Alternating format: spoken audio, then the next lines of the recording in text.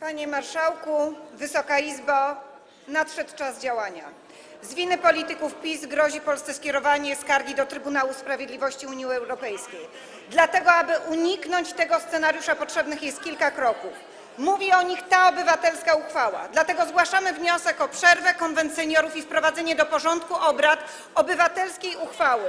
Wszystkie narzędzia do tego, aby nasz kraj uniknął oskarżenia przed Trybunałem Sprawiedliwości o łamanie standardów prawa, żeby uniknął związanej z tym utraty lwiej części środków unijnych, są w rękach polityków PiS. To jest czas i test dla obozu władzy, dla polityków PiS-u.